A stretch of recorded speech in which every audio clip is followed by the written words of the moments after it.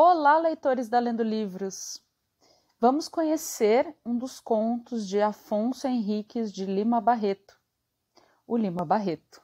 Este célebre e importantíssimo autor carioca é responsável por uma vasta produção que inclui romances, sátiras, contos e crônicas. Vamos juntos conhecer um de seus contos mais famosos. O Homem que Sabia Javanês, de Lima Barreto. Em uma confeitaria, certa vez, ao meu amigo Castro, contava eu as partidas que havia pregado, as convicções e as respeitabilidades para poder viver. Houve mesmo uma dada ocasião, quando estive em Manaus, em que fui obrigado a esconder a minha qualidade de bacharel para mais confiança obter dos clientes que afluíam ao meu escritório de feiticeiro e adivinho. Contava eu isso. O meu amigo ouvia-me calado, embevecido, gostando daquele meu giblá vivido, até que, em uma pausa da conversa, ao esgotarmos os copos, observou a esmo. Tens levado uma vida bem engraçada, Castelo. Só assim se pode viver. Isso de uma ocupação única. Sair de casa a certas horas, voltar a outras. Aborrece, não achas? Não sei como me tem aguentado lá no consulado. Cansa-se, mas não é disso que me admiro. O que me admira é que tenhas corrido tantas aventuras aqui neste Brasil imbecil e burocrático. Qual? Aqui mesmo, meu caro Castro se podem arranjar belas páginas de vida. Imagina tu que eu já fui professor de javanês. Quando? Aqui depois que voltaste do consulado? Não, antes. E por sinal, fui nomeado cônsul por isso. Conta lá como foi. Bebes mais uma cerveja? Bebo. Mandamos buscar mais outra garrafa, enchemos os copos e continuei. Eu tinha chegado havia pouco ao rio, estava literalmente na miséria. Vivia fugido de casa de pensão em casa de pensão, sem saber onde e como ganhar dinheiro. Quando li no Jornal do Comércio o anúncio seguinte: abre aspas. Precisa-se de um professor de língua javanesa cartas, etc. Fecha aspas. Ora, disse cá comigo, está ali uma colocação que não terá muitos concorrentes. Se eu capiscasse quatro palavras, ia apresentar-me.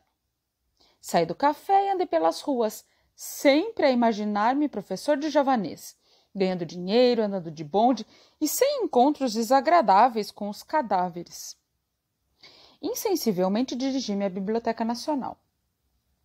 Não sabia bem que livro iria pedir, mas entrei. Entreguei o chapéu ao porteiro, recebi a senha e subi. Na escada, acudiu-me pedir a grande enciclopédia, letra J, a fim de consultar o artigo relativo a Java e a língua javanesa. Dito e feito. Fiquei sabendo, ao fim de alguns minutos, que Java era uma grande ilha do arquipélago de Sonda, colônia holandesa, e o javanês, língua aglutinante do grupo malaio-polinésio, possuía uma literatura digna de nota e escrita em caracteres derivados do velho alfabeto hindu. A enciclopédia dava-me indicação de trabalhos sobre a tal língua malaia e não tive dúvidas em consultar um deles.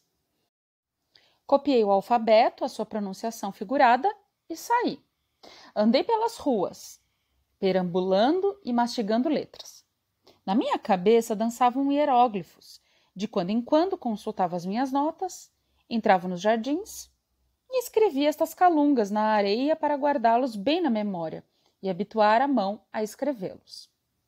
À noite, quando pude entrar em casa sem ser visto, para evitar indiscretas perguntas do encarregado, Ainda continuei no quarto a engolir o meu ABC, malaio, e com tanto afinco levei o propósito que de manhã o sabia perfeitamente. Convenci-me que aquela era a língua mais fácil do mundo e saí. Mas não tão cedo que não me encontrasse com o encarregado dos aluguéis dos cômodos. Senhor Castelo, quando salda sua conta? Respondi-lhe então eu com a mais encantadora esperança. Breve. Espere um pouco. Tenha paciência. Vou ser nomeado professor de javanês e. Por aí o homem interrompeu. Que diabo vem a ser isso, senhor Castelo? Gostei da diversão e ataquei o patriotismo do homem. É uma língua que se fala lá pelas bandas do Timor. Sabe onde é? Oh, alma ingênua! O homem esqueceu-se da minha dívida e disse-me com aquele falar forte dos portugueses. Eu, cá por mim, não sei bem, mas ouvi dizer que são as terras que temos lá para os lados de Macau. E o senhor sabe isso, senhor Castelo? Animado com essa saída feliz que me deu o javanês, voltei a procurar o anúncio. Lá estava ele. Resolvi animosamente propor-me ao professorado do idioma oceânico. Redigi a resposta. Passei pelo jornal e lá deixei a carta. Em seguida, voltei à biblioteca e continuei os meus estudos de javanês. Não fiz grandes progressos nesse dia, não sei se por julgar o alfabeto javanês o único saber necessário a um professor de língua malaia, ou se por ter me empenhado mais na bibliografia e história literária do idioma que ia ensinar. Ao cabo de dois dias, recebia eu uma carta para ir falar ao doutor Manuel Feliciano Soares Albernaz, barão de Jacuecanga, a rua Conde de Bonfim, não me recordo bem que número. Preciso não te esqueceres que entre mentes continuei estudando meu malaio, isto é, o tal javanês. Além do alfabeto, fiquei sabendo o nome de alguns autores. Também perguntar e responder: Como está o senhor? E duas ou três regras de gramática, lastrado todo esse saber com vinte palavras do léxico. Não imaginas as grandes dificuldades com que lutei para arranjar os 400 réis da viagem. É mais fácil, podes ficar certo, aprender o javanês. Fui a pé. Cheguei suadíssimo e, com maternal carinho, as anosas mangueiras que se perfilavam em alameda diante da casa do titular me receberam, me acolheram e me confortaram. Em toda a minha vida foi o único momento em que cheguei a sentir a simpatia da natureza. Era uma casa enorme que parecia estar deserta. Estava maltratada, mas não sei por que me veio pensar que nesse maltratamento havia mais desleixo e cansaço de viver que mesmo pobreza. Devia haver anos que não era pintada. As paredes descascavam e os beirais do telhado, daquelas telhas vidradas de outros tempos, estavam desguarnecidos aqui e ali como dentaduras decadentes ou mal cuidadas. Olhei um pouco o jardim e vi a pujança vingativa com que a tiririca e o carrapicho tinham expulsado os tinhorões e as begônias. Os crótons continuavam, porém, a viver com a sua folhagem de cores mortiças. Bati. Custaram-me abrir. Veio por fim um antigo preto africano cujas barbas e cabelo de algodão davam à sua fisionomia uma aguda impressão de velhice, doçura e sofrimento. Na sala havia uma galeria de retratos. Arrogantes senhores de barba em colar se perfilavam enquadrados em imensas molduras douradas e doces perfis de senhoras, em bandós, com grandes leques. Pareciam querer subir aos ares enfunadas pelos redondos vestidos a balão. Mas daquelas velhas coisas sobre as quais a poeira punha mais antiguidade e respeito, a que gostei mais de ver foi um belo jarrão de porcelana da China ou da Índia, como se diz. Aquela pureza da louça, a sua fragilidade, a ingenuidade do desenho e aquele seu fosco brilho de luar diziam-me a mim que aquele objeto tinha sido feito por mãos de criança. A sonhar, para encanto dos olhos fatigados dos velhos desiludidos. Esperei um instante o dono da casa. Tardou um pouco. Um tanto trôpego, com o lenço de alcobaça na mão, tomando veneravelmente o simonte de antanho, foi cheio de respeito que o vi chegar. Tive vontade de ir-me embora. Mesmo se não fosse ele o discípulo, era sempre um crime mistificar aquele ancião, cuja velhice trazia à tona do seu pensamento alguma coisa de Augusto, de Salgrado. Hesitei, mas fiquei. Eu sou, avancei, o professor de javanês que o senhor disse precisar. Sente-se, respondeu-me o velho. O senhor é daqui do Rio? Não, sou de Canavieiras. Como? fez ele. Fale um pouco alto, que sou surdo. Sou de Canavieiras, na Bahia, insisti eu. Onde fez seus estudos? Em São Salvador. E onde aprendeu javanês? indagou ele com aquela teimosia peculiar aos velhos. Não contava com essa pergunta, mas imediatamente arquitetei uma mentira. Contei-lhe que meu pai era javanês, tripulante de um navio mercante, viera ter a Bahia, estabelecera-se nas proximidades de Canavieiras como pescador, casara, prosperara e fora com ele que aprendi javanês. E ele acreditou? E o físico? perguntou meu amigo, que até então me ouvira calado. Não sou, objetei, lá muito diferente de um javanês. Estes meus cabelos corridos, duros e grossos e a minha pele basanê podem dar-me muito bem o aspecto de um mestiço de malaio. Tu sabes bem que entre nós há de tudo. Índios, malaios, taitianos, malgaches, guanches, até godos. É uma comparsaria de raças e tipos de fazer inveja ao mundo inteiro. Bem, fez o meu amigo, Continua. O velho, emendei eu, ouviu-me atentamente, considerou demoradamente o meu físico. Pareceu que me julgava de fato filho de Malaio e perguntou-me com doçura: Então, está disposto a ensinar-me javanês? A resposta saiu-me sem querer. Pois não. O senhor é de ficar admirado, aduziu o barão de Jacuecanga, que eu, nessa idade, ainda quero aprender qualquer coisa. Mas não tenho que admirar. Tem-se visto exemplos e exemplos muito fecundos. O que eu quero, meu caro senhor? Castelo, adiantei eu. O que eu quero, meu caro senhor Castelo, é cumprir um juramento de família. Não sei se o senhor sabe que eu sou neto do conselheiro Albernaz aquele que acompanhou Pedro I quando abdicou. Voltando de Londres, trouxe para aqui um livro em língua esquisita, a que tinha grande estimação. Fora um hindu ou siamês que lhe o dera, em Londres, em agradecimento a não sei que serviço prestado por meu avô. Ao morrer, meu avô chamou meu pai e lhe disse: aspas, Filho, tenho este livro aqui, escrito em javanês, Disse-me quem mo deu que ele evita desgraças e traz felicidades para quem o tem. Eu não sei nada ao certo. Em todo caso, guarda-o. Mas, se queres que o fado que me deitou o sábio oriental se cumpra, faze com que teu filho o entenda, para que sempre a nossa raça seja feliz.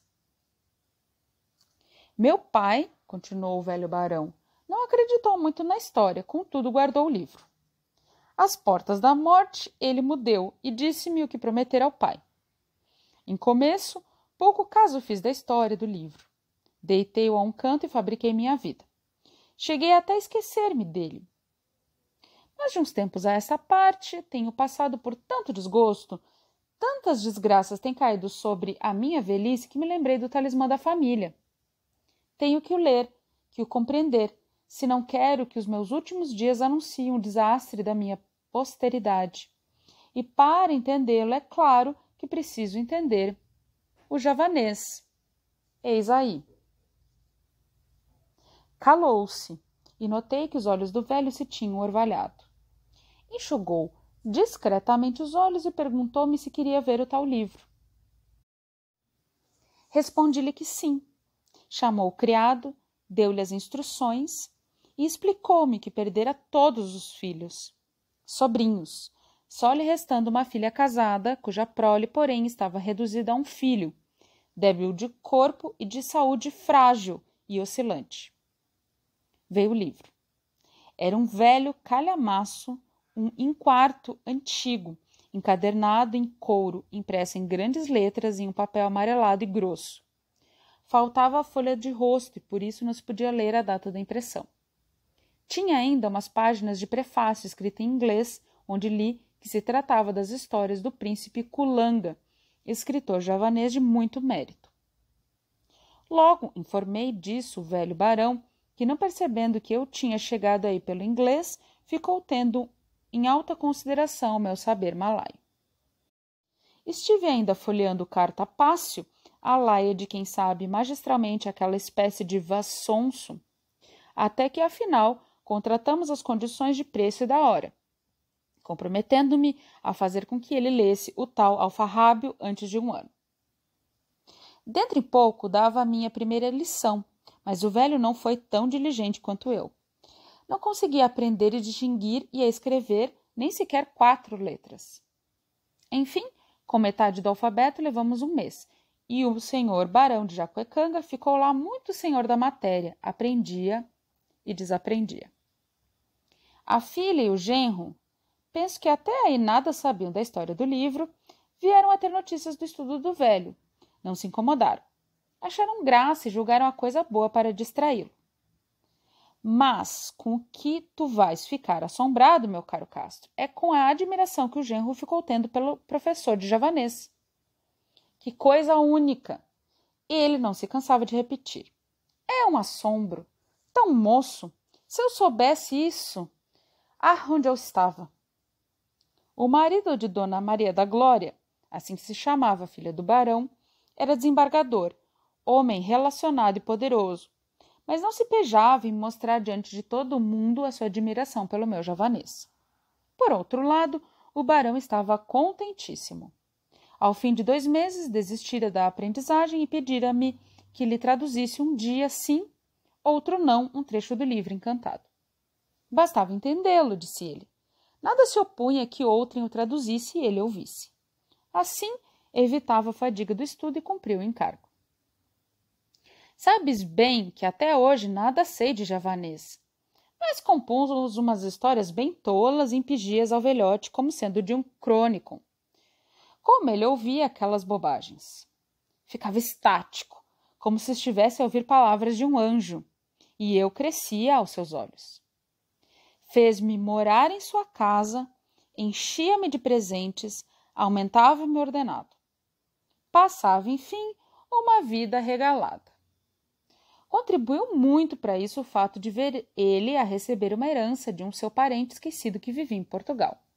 O bom velho atribuiu a coisa ao meu javanês e eu estive quase a crê-lo também. Fui perdendo os remorsos, mas em todo caso sempre tive medo que me aparecesse pela frente alguém que soubesse o tal patuá malaio. E esse meu temor foi grande, quando o doce barão me mandou com uma carta ao Visconde de Caruru para que me fizesse entrar na diplomacia. Fiz-lhe todas as objeções. A minha fealdade, a falta de elegância, o meu aspecto tagalo. Uau! retrucava ele. Vai, menino, você sabe javanês. Fui. Mandou-me o Visconde para a Secretaria dos Estrangeiros com diversas recomendações. Foi um sucesso. O diretor chamou os chefes de sessão. Vejam só um homem que sabe javanês, que portento! Os chefes de sessão levaram-me aos oficiais e amanuenses, e houve um destes que me olhou mais com ódio do que com inveja ou admiração, e todos diziam: Então sabe javanês? É difícil. Não há quem o saiba aqui. O tal amanuense, que me olhou com ódio, acudiu então. É verdade, mas eu sei Kanak. O senhor sabe? Disse-lhe que não e fui à presença do ministro. A alta autoridade levantou-se, pôs as mãos às cadeiras, consertou o pincenês no nariz e perguntou: Então sabe javanês? Respondi-lhe que sim, e a sua pergunta, onde tinha aprendido, contei-lhe a história do tal pai javanês. Bem, disse-me o ministro, o senhor não deve ir para a diplomacia. O seu físico não se presta. O bom seria um consulado na Ásia ou Oceania. Por ora não há vaga, mas vou fazer uma reforma e o senhor entrará. De hoje em diante, porém, fica adido ao meu ministério e quero que para o ano parta para Bali, onde vai representar o Brasil no Congresso de Linguística. Estude, leia o Rovelac, o Max Miller e outros. Imagina tu que eu até aí nada sabia de javanês, mas estava empregado e iria representar o Brasil em um congresso de sábios. O velho barão veio a morrer. Passou o livro ao genro para que o fizesse chegar ao neto quando eu tivesse a idade conveniente, e fez-me uma deixa no testamento. Pus-me com afã no estudo das línguas malaio-polinésicas, mas não havia jeito. Bem jantado, bem vestido, bem dormido, não tinha energia necessária para fazer entrar na cachola aquelas coisas esquisitas. Comprei livros, assinei revistas. Revue Anthropologique et Linguistique, Proceedings of the English Oceanic Association. Arquivo Glotólico Italiano. O diabo, mas nada. E a minha fama crescia. Na rua, os informados apontavam-me, dizendo aos outros: Lá vai o sujeito que sabe javanês. Nas livrarias, os gramáticos consultavam-me sobre a colocação dos pronomes no tal jargão das ilhas de Sonda. Recebia cartas dos eruditos do interior os jornais citavam o meu saber e recusei aceitar uma turma de alunos sequiosos de entenderem o tal javanês. A convite da redação, escrevi no Jornal do Comércio um artigo de quatro colunas sobre a literatura javanesa, antiga e moderna. Como? Se tu nada sabias? Interrompeu-me o atento Castro. Muito simplesmente. Primeiramente, descrevi a ilha de Java, com auxílio de dicionários e umas poucas publicações de geografias, e depois citei a mais não poder.